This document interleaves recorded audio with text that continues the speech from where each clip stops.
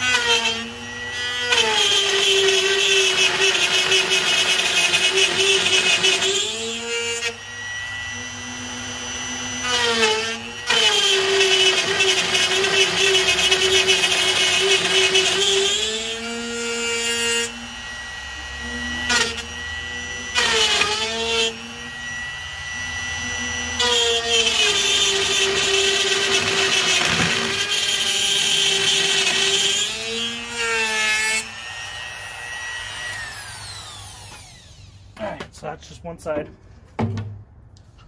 Um, you want to make sure you don't take off the paper before you do this. And then I got nice little teeth. It's not as nice as professionally done, but they also have better tools. I'm just, if I had a router table and I could probably get this a lot nicer. But if I just want an overflow, this works pretty good and it actually turns out um, usually pretty nice. So now I'm just to do this bigger panel, same way.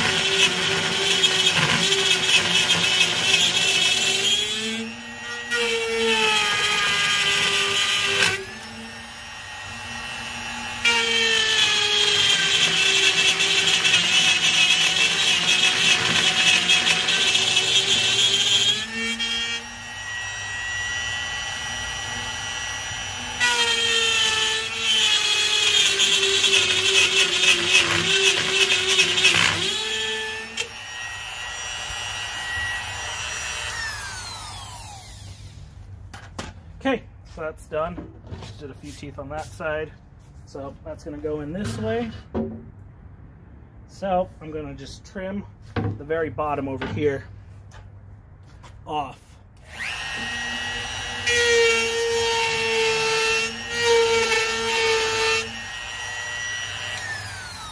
The reason I did that was to make room for the silicone that's down there, so I don't have to worry about cutting it or anything.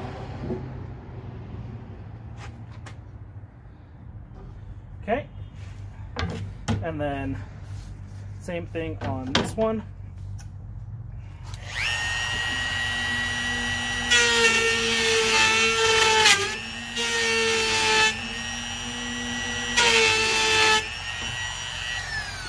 And if I overcut it, it's not a big deal.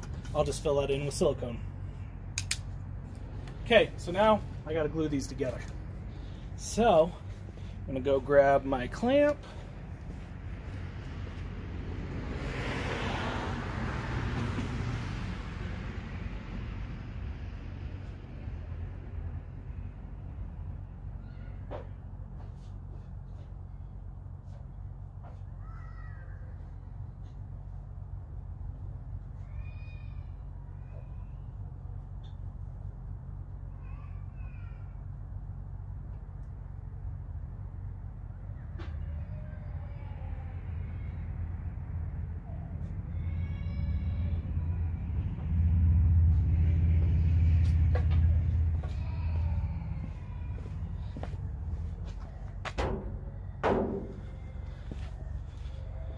So, I want this.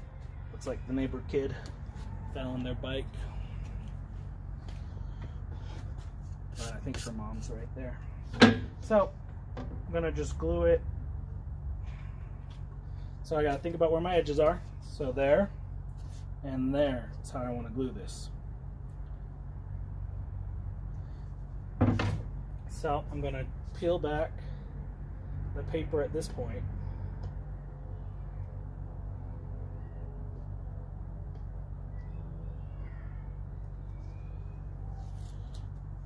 and I don't need to peel it all the way off at this point.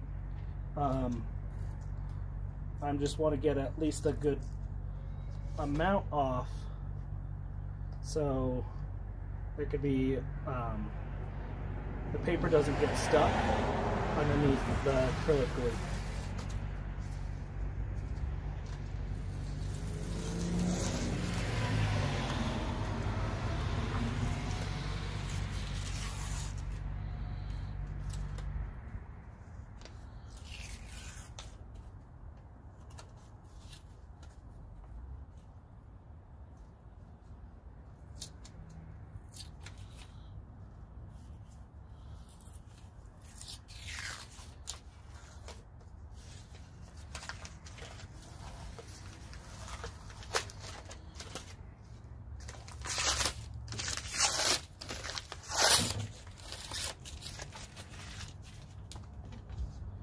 ahead and do this to both sides.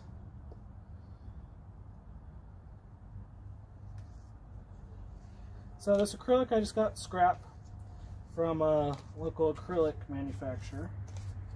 So I only paid, I think it was like $2 a pound or something. Might have been more than that, I don't remember. But I paid by the pound. And I just got some nice uh, quarter inch thick stuff that I've just had lying around. So this looks like it's actually frosted on the one side, so that's kind of nice. If I knew I was going to be making this when I got the stuff, I would have looked to see if they had any colored stuff. But since I already have the acrylic, I'm fine with it just being white and frosted. So same on the other panel.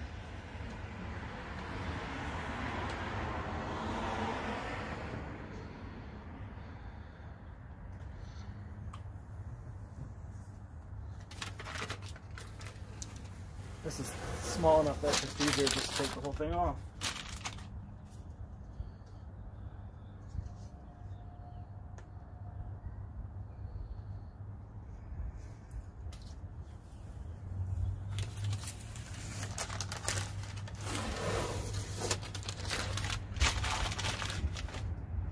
Okay, So it's gonna be like this.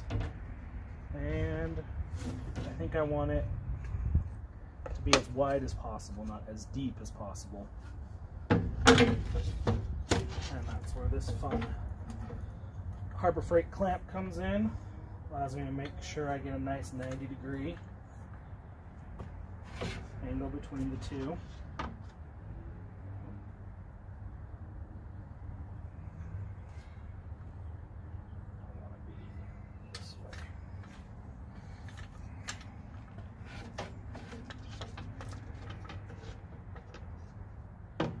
So first I'll go ahead and get the bottom nice and tight. These are just Harbor Freight made in China things, but for this, they work amazing. Because they have a nice gap so I can still get my glue under it. So I want to get it nice and lined up.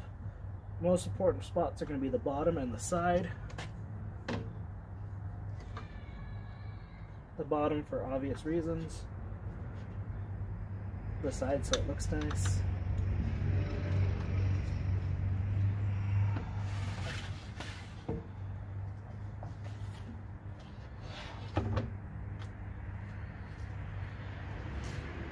Okay, looks like I need to go grab one more for the top. So I'm gonna grab one more for the top end and then I'm gonna glue this together. Okay, so I got my other clamp, put it together, got it on a wood bench because I don't want to risk the acrylic solvent um, going everywhere, uh, especially over a plastic thing because what it does is it actually dissolves the material. So I'm making sure it's all clean and touching. Make sure the bottom is good and together. And then I'm using Weldon 3. I have a large supply from uh, my sump that I built. So I'm just going to squirt that in the groove from both sides and leave it for a good few hours. And that should be good. Um, usually, if it was a larger project, I would do the needle, the pin method, and have a bunch of pins, but because it's such a small piece and it doesn't really have to be that watertight, um, I'm just going to do it this way. So I'm just going along the edge, doing a uniform amount, and watching it fill in the gap. And it looks really nice, and then I'm going to just do it from the outside, just to be safe. Right along the gap.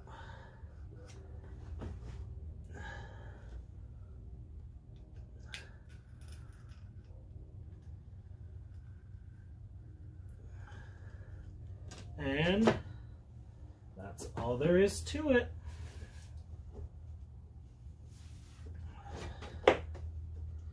Just looking for anywhere that might need a little bit more.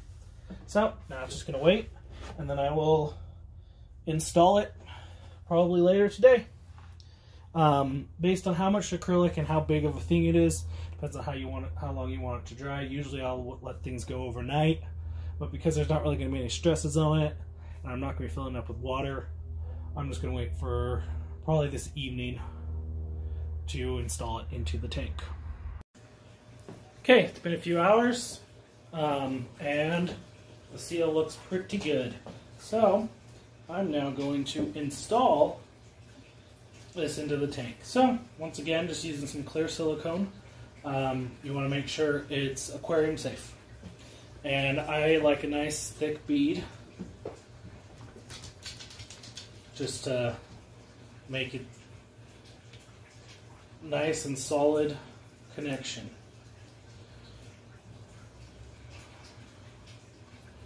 Okay, so well, just to start on the back.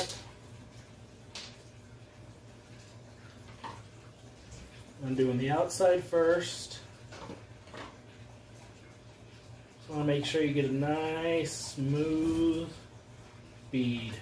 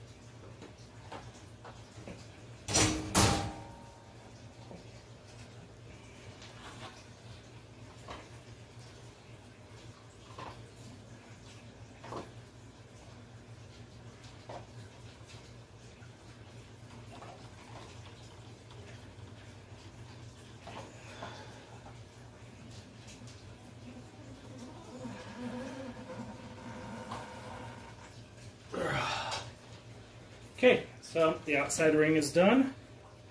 Now I'm just going to do the same thing on the inside.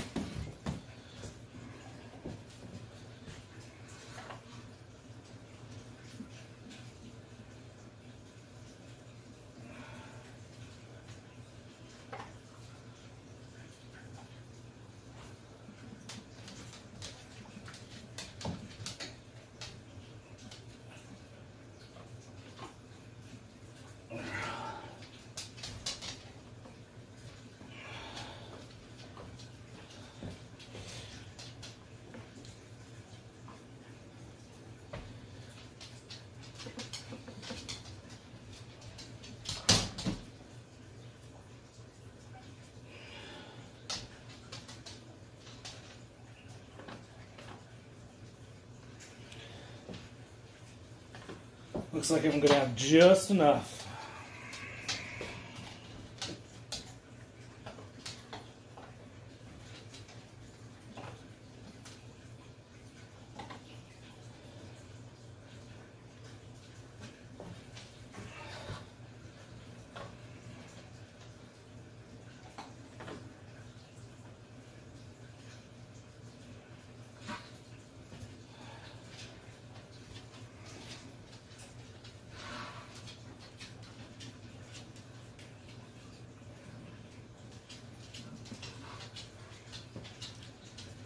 Okay.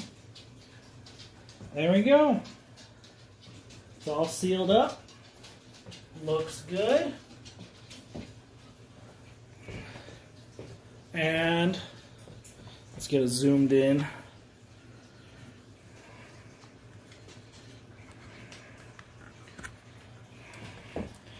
So you can see the the seal.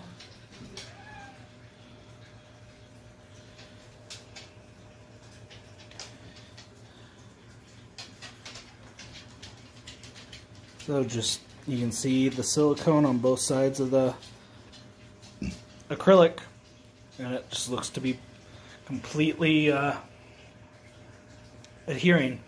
So, so now I just have to wait for it to cure. Um, you might be wondering why I drilled my hole so low. Um, I thought I was going to put the bulkhead in and then a right angle um, to be able to, for the overflow unit um, and then have the top be closer to the top. But that way I can simulate the effects of it being lower, and I can also um, have a make it so that there's a spot for air to drain. So that's that. Thank you for watching. Be sure to like and subscribe. And I'm going to keep on making these videos.